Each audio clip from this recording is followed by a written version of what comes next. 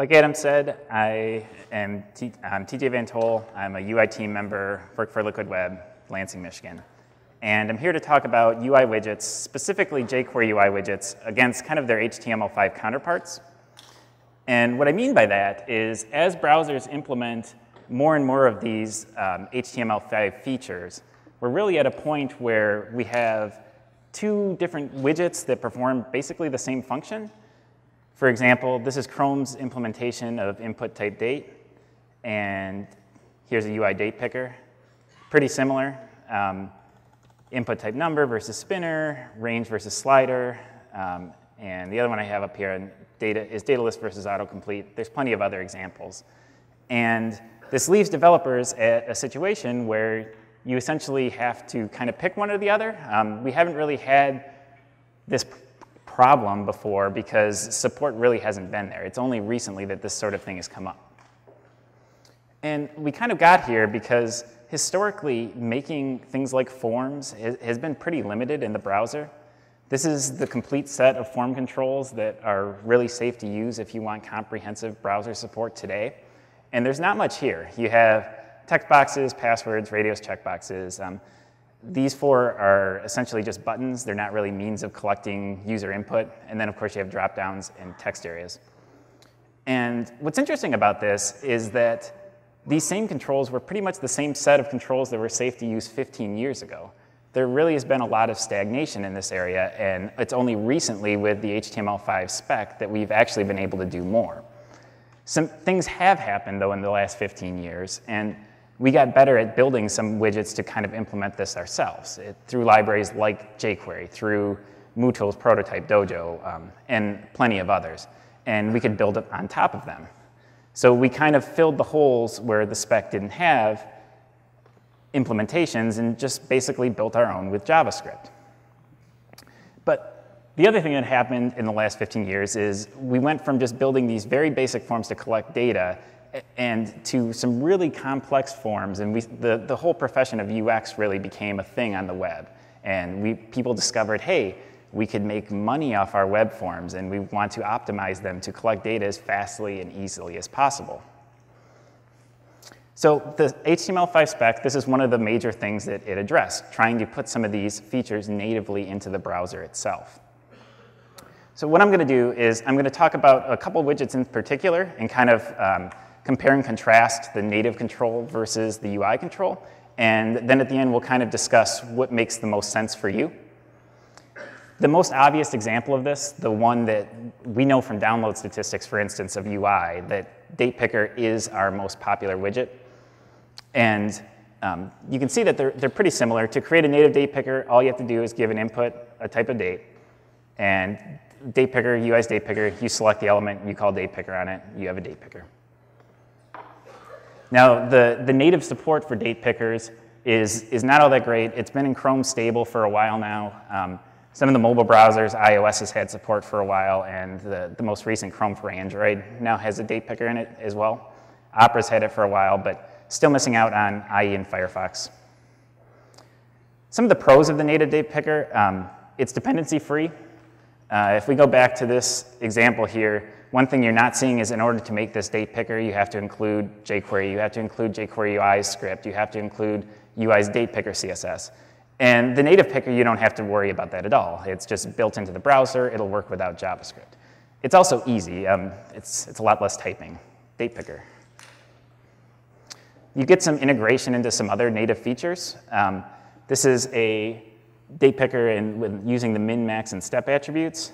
And the way Chrome implements this, it might be hard to see with the contrast here, but it's actually disabled. I've, I've picked two dates between March 3rd and March, 20, and March 20th, and Chrome actually won't let me change the, the month of the year. It'll only let me change the day.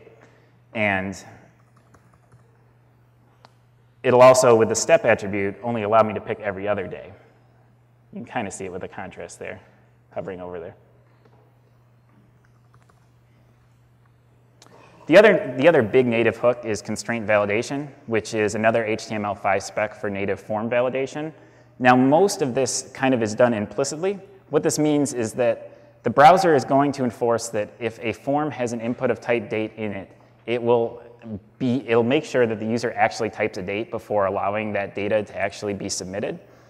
And Chrome takes care of this largely because I can't, uh, like if I type letters, um, it's just not gonna let me type them. But it'll also handle more advanced cases like, um, let's say I want a date that doesn't make sense, it'll stop that from actually being submitted. How many people in here have written leap year logic before for a form? Right, you know, you people should be pretty excited about this because it's, it's a pain, and it's nice that the browser can actually do this natively. The other thing is that you get the full constraint validation API, which I'm not going to go into too much, but I just have a quick example here. This set custom validity method, I can call it with, if you call it with an empty string, it's a weird API that means the field is valid, of course. If you call it with a non-empty string, it'll set it as the message. And what I'm doing here is I just um, don't like sevens, so I can just do this custom thing and just um, prevent sevens if I wanted to do that. And if I gave it a validate, though, um, browser will just let me submit it. And all that's just kind of baked in. The other big native feature that you get is integration with data lists. The way data list works is you give an input element a list attribute. That list attribute needs to correspond with the ID of a data list element. And the difference between data list and say a select, um, selects you give options and the browser will enforce that the user pick one of those values. Um, data lists are just suggestions. You're just suggesting to the user. It's kind of like the browser's autocomplete. And for date pickers, the way Chrome implements this is the options it'll show kind of um, drop-down style so that you can pre-select them. But then since they are just suggestions, you can go to this other option and bring up the full picker.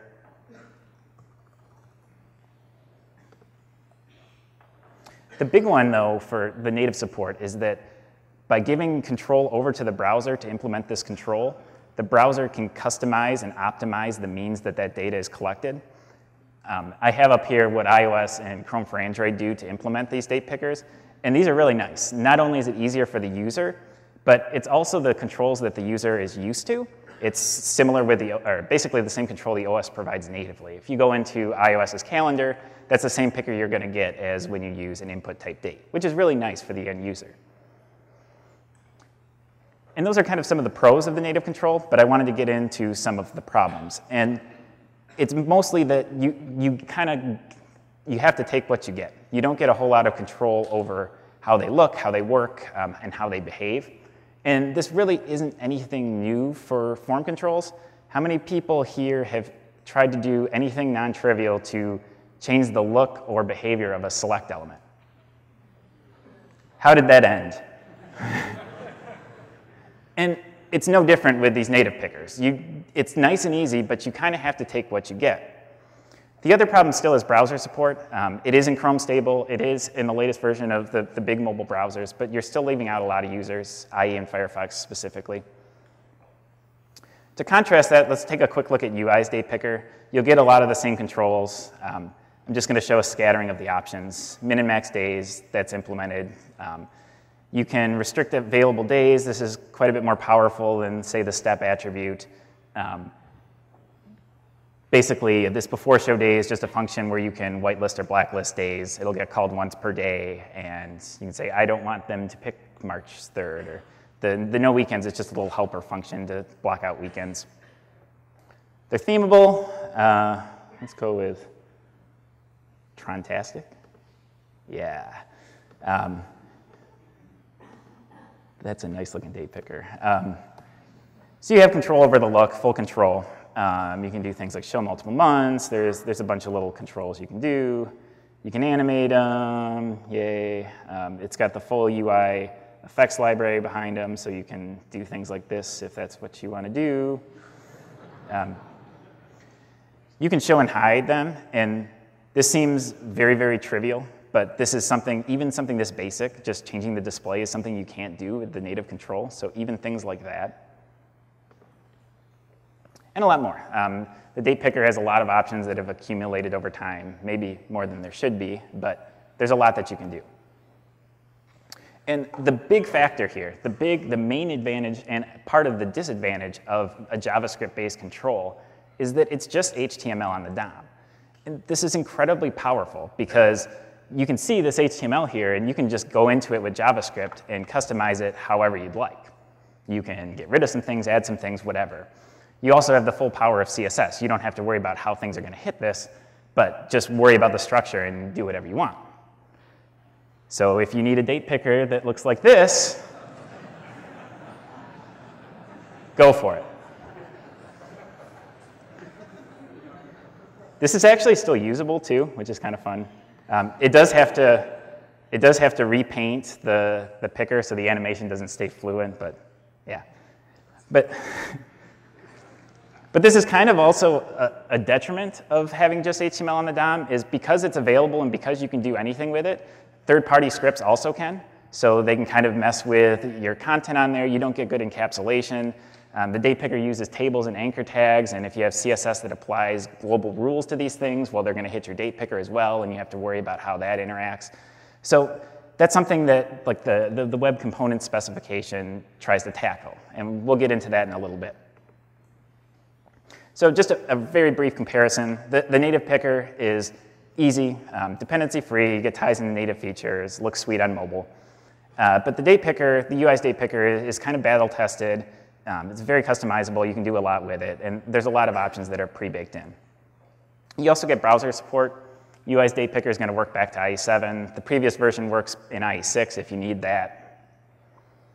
The next question that usually comes up is, well, can we get the best of both worlds? Um, I like the, the, the, the, date picker validation, or the, the date validation, it's really nice, but then I also want the customizable widget. I need to do some non-trivial things with dates. And the problem that happens, the, the, the, kind of naive approach to this is, well, I have an input of type date, and I call date picker on it. What could go wrong? Um, and it turns out you get this kind of like double calendar thing. And like the native one actually does still work, but then this kind of does nothing. So yeah. Uh, um, one thing that we can do though, um, the part of the web components family of specifications is a concept known as shadow DOM. And what this is, is how the browser actually implements these controls. In Chrome, oops, in Chrome there's this option in the config down here that shows Shadow DOM. And if you turn this on, so normally input elements cannot have children. But you can see now in Chrome that I can actually drill into this. And I can see a shadow root here, and I have some information about how this is actually implemented. And so I can do things like actually change some of the native control, which is kind of slick. And if you take an approach like this, you can actually kind of get something that sort of works. You can just kind of hide things. That spin button is the little the spin control that moves the, the date up and down. I can kind of hide the arrow. Um, there's also pseudo elements for all of this. You can hide the MM, all this text you can get rid of too if you so choose or change the color or whatever.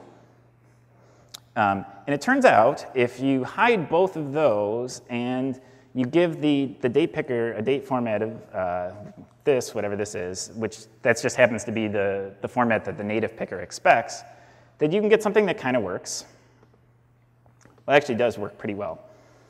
Um, which is pretty cool. Um, and WebKit has a lot of these elements that they expose. The problem with this, of course, is that this is a solution that's incredibly specific to Chrome desktop at the moment.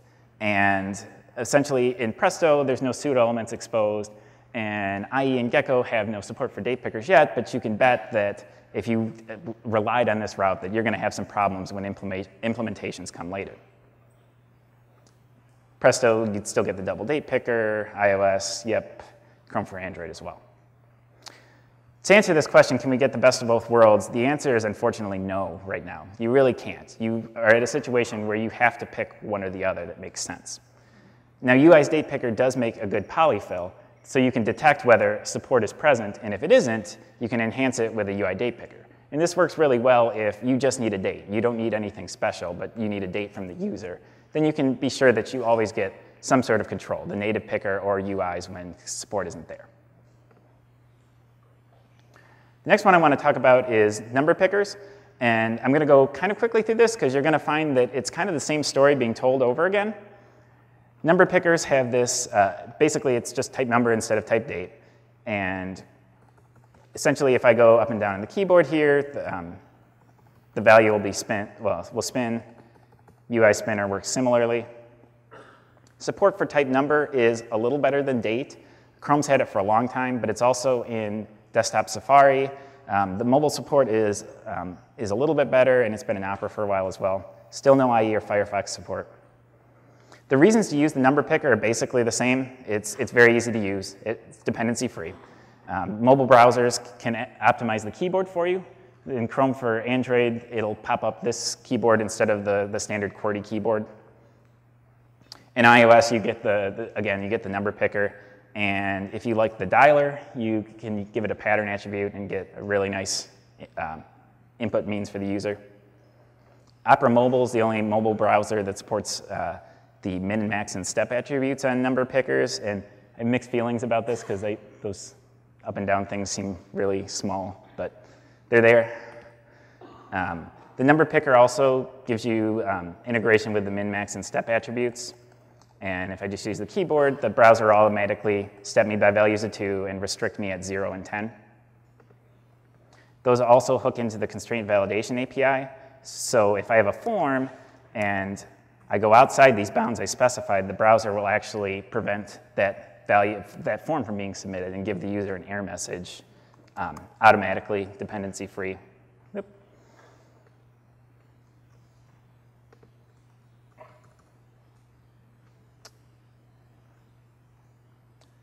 Oh, really? I have to, refresh. The other one I was going to show is same thing if you go above, it'll stop it. And it'll also stop it if you um, validate or go against the step attribute. In this case, I need to have a multiple of 2. But if I, if I provide a valid value, it'll let that go. You also get data list integration. The way Chrome implements this on number pickers is just kind of like a standard text box autocomplete that um, I get this sort of thing.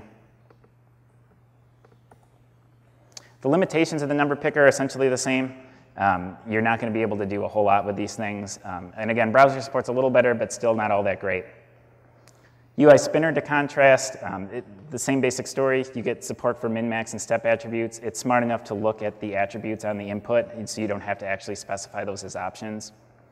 It's again themable. Um, swanky purse. I don't even know exactly what this is. Oh, there we go. Yes. Um, Paging, um, we'll see why this is kind of cool in a minute, but um, the step value here is 1, so if I go up and down, I, I go up and down by 1, but I can also page up and page down, and it'll use a value of 10 here.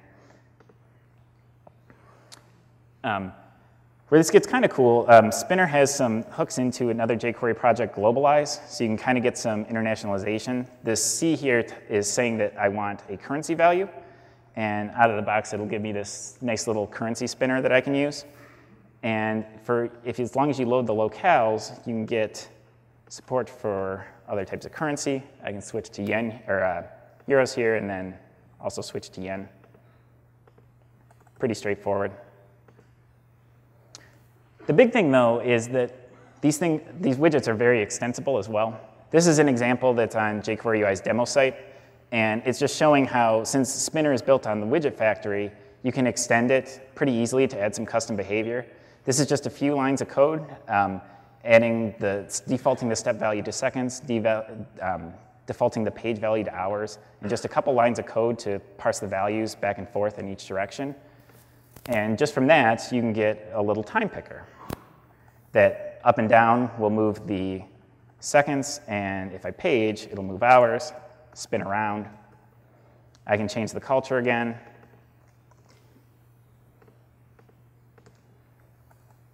and remember what key, there you go. And it'll spin around as well.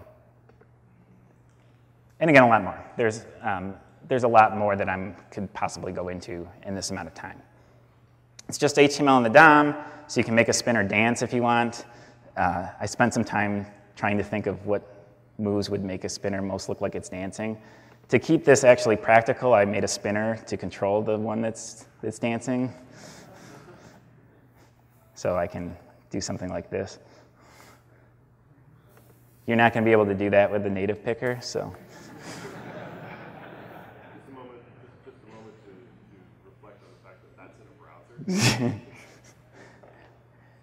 Can we get the best of both worlds? The, the same question again. Um, if you take the naive approach and try to make a spinner into a number picker, you again get this sort of thing. These controls actually will, will both work, so kind of okay, but it's pretty confusing to users.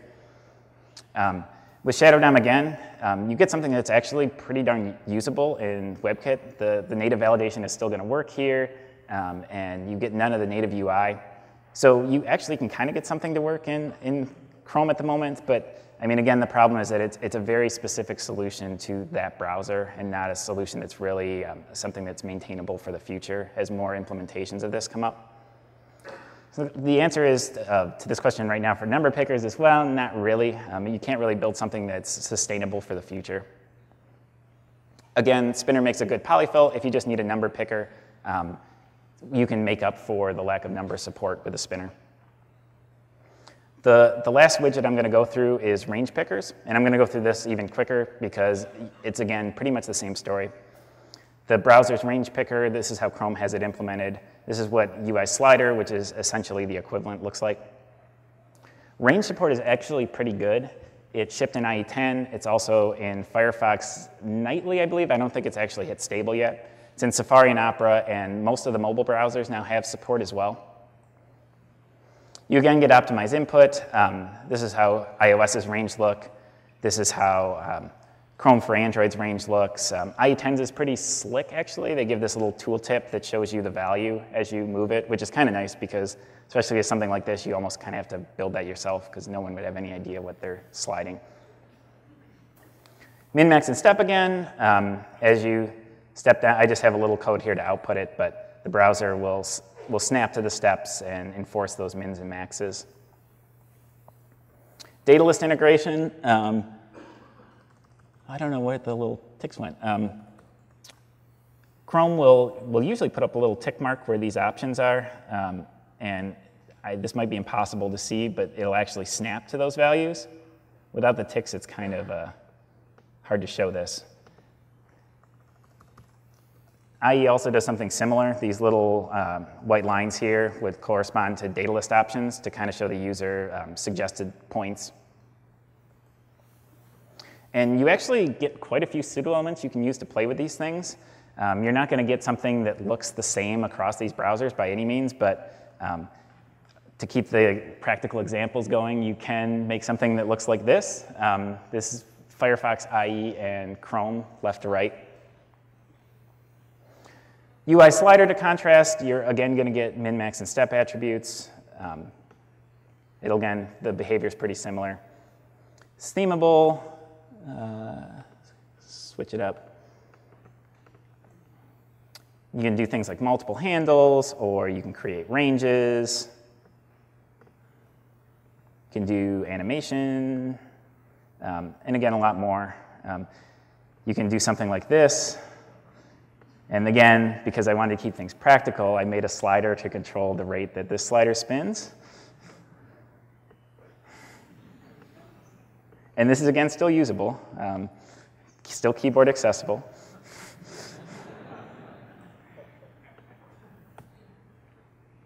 and it's extensible. Um, this is a really slick example that we saw someone build. And, and first of all, it adds on these little labels automatically to the little handles which is cool, that updates as you drag. But what's really slick about this is when you get these things close, it really nicely combines these. And then it's smart enough too that when they're on top of each other, it brings it down to one value. And this is really, really nice and well done. And the code for this is actually pretty small. It's like 40, 50 lines of code. It, it wasn't written as an extension of the, the slider, but it easily could have been, and it probably would have made it more reusable code. To kind of summarize what we've talked about, um, the, the, native features are, are very easy to use. Um, and you don't have any dependencies. You don't have to worry about loading scripts. The user agent can optimize the input. Um, you get the nice pickers on mobile. Hooks into other native functionality, things like data lists, um, things like um, the constraint validation, native uh, validation.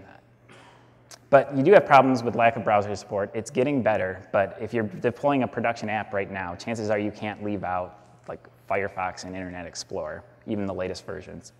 But you're really not going to have much control over these things. Um, they're not really, they're, you can kind of do some things to style them, but not really. Um, you really can't customize or extend on top of them. So this really leaves us in a situation where right now you have to pick one or the other. And which you pick kind of just depends on your application, but really if you just need the very basic thing, I just need a date from the user, I just need a number from the user, you probably want to try to be considering using the native element. And since browser support probably will be an issue, you could look into using um, some sort of polyfill. I'd recommend UI, obviously, but you can even, if you're worried about the size of UI, you can conditionally load it, get into things like that. But trying to get these things to work together is just going to be painful, and it's probably not even going to be possible in most cases. So this comes up a lot, um, that we want to actually get the best of both worlds, right? We want a date picker that will tie into the native validation, but that we can also just kind of provide our own calendars to implement this. And there have been several proposed solutions to this problem. This is one that was on the mailing list. I don't know actually who, whose idea this was originally, but like maybe we could provide some sort of attribute that says, tells the browser, hey, um, I actually just don't want you to provide any picker for this, I got this, but if you give me the ties into the other stuff, that would be great. And the blanket, the blanket response that kind of comes from the people who actually work on the specification is that the long-term solution for this is web components. Web components is going to be how we solve these problems in the future. And what exactly does that mean? Um, in, in this case, basically, um, we looked earlier at the date picker and we could drill into it and see the actual Shadow DOM implementation in Chrome. The idea is that in the future, you'd be able to inject your own Shadow DOM element in there and the browser would know that to use that instead of the native implementation. And then you get all the benefits of the encapsulation um, and all the power that Shadow DOM comes with, which sounds great. Um, but there's a problem in that it's not implemented anywhere yet. It's basically just in some people's heads. Um, in Chrome, Chrome's the only browser that has Shadow DOM support, at least in stable release. And if you try to get a reference to the shadow root of an input element, it's just going to tell you that it's not there, it doesn't exist. If you try to create a new shadow root for that input element, it will throw an exception. You, you just can't do it yet. The other potential solution for this long term is to utilize HTML custom elements. Custom elements are another specification that falls under the web components spectrum. And it's basically just a means of creating your own custom HTML elements, defining some things like the behavior it, uh, behavior it and so forth. The, the long-term idea is that eventually you'll be able to create custom form elements and tell the browser things like what value is going to be submitted from this control, how this control um, can be validated, things like that. But this is something that's even more far, uh, more far off because this is in the heads of a few of the spec writers. This actually hasn't been put on paper or anything yet. So unfortunately, we don't have a solution to this problem at the moment. You're, you're basically stuck picking one or the other. Now, one thing that we can do, jQuery UI specifically can do, is try to help make the native controls as best as they can be jQuery UI has an interesting position in that a lot of these controls that are ending up in the browser have been in the wild and UI for years, and we kind of have an idea of what works and what doesn't. To give some examples of this, input or number pickers have step up and step down methods that you can call on them, which seem pretty self-explanatory. They, they take an optional number of steps. Here you can see the value of this input is one. If you call step on it, step up on it with three, it's telling it that's three steps and so the value changes to 4. If you don't provide it, um, the, value, the default value is 1.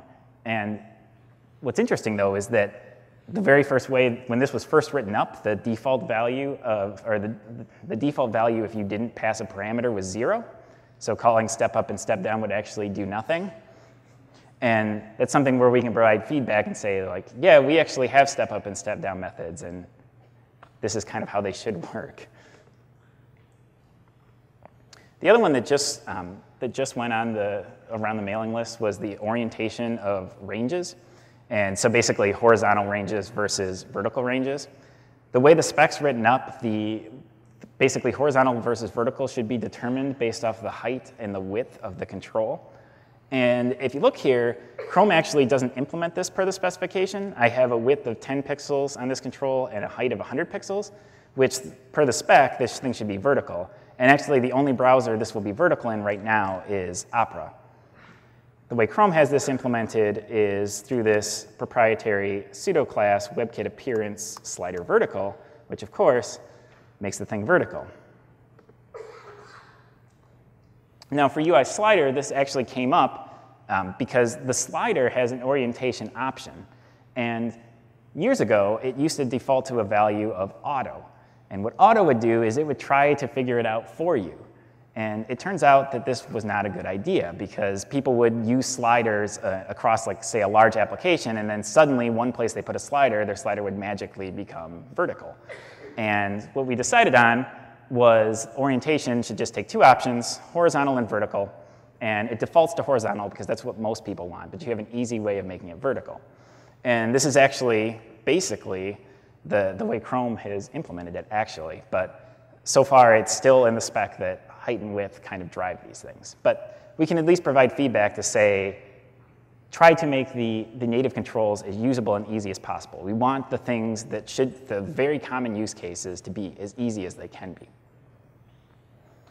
The last thing I want to talk about is um, with a lot of the, the progress that has been made in implementation of some of these controls, things like date pickers actually landing in browsers and whatnot, um, that still doesn't mean that these JavaScript widgets and these UI frameworks are going away. If anything, it almost means the opposite. There's no way, if you look at all the options that Date Picker provides or a lot of these widgets provide, there's no way those things are making it into the specification. There's just too much. There's too much, too many things that people want to do. And what jQuery UI and a lot of JavaScript widget frameworks try to provide is a nice baseline that you can build widgets on top of and handle those more complex situations that are going to really be unique and hard to actually make part of any sort of specifications. Where, where the UI widgets are basically going, though, is moving more towards um, web components and taking and getting rid of some of the disadvantages of, the, of using these widgets, things like what Google's Polymer project is doing, um, and actually creating encapsulated reusable widgets. But JavaScript widgets aren't going anywhere. Um, we know from usage trends that um, more and more people are actually downloading and using UI. These things are getting more popular, they're getting more powerful. And if you want to help, we're always looking for help. Help be part of the future of the web. That's it. Thanks.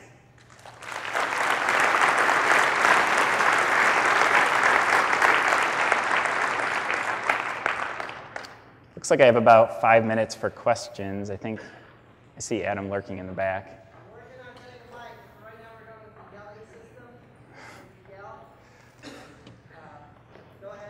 Yeah.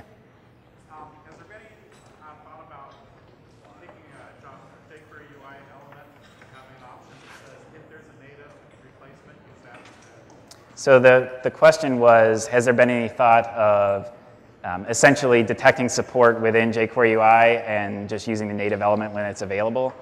And no, not really. Um, we, basically just leave it up to the user to, to figure out what they want to use, essentially.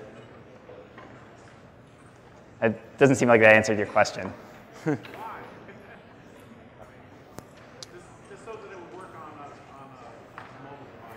Well, yeah, the plan is to make more of the, the UI widgets more mobile friendly. It's, it's hard for us to, to integrate with some of the native features. Like that's basically the problems we talked about, but the plan is to make these UI widgets more responsive, more friendly for mobile devices. Okay. Uh, it would be great if people were just like nice and like quiet while they left. So, because we're doing this. Um, what about elements outside of the form? Um, the accordion or tabs or anything like that? Is there any parity, you know, between HTML5 and jQuery UI outside of form elements? Yeah, like the, the progress bar. Progress bar is, is kind of a form element. That, that's one example. Um, it's, it's, the same, it's the same basic thing. Um, you, you essentially have to choose one or the other. There's, there's less advantages of the, the native control there.